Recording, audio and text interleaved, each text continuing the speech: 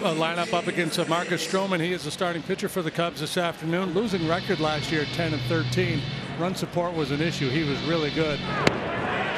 Adames out on strikes, and Stroman has set down the first two Brewers. Fastballs early, then a breaking pitch as the put-away pitch here to get Adames.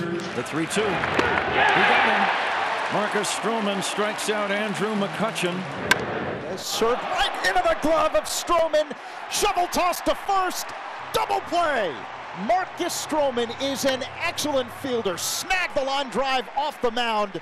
And then the underhand toss to first to double off Renfroe, who was off the bag. Hoerner plants the feet, makes a good throw out number one.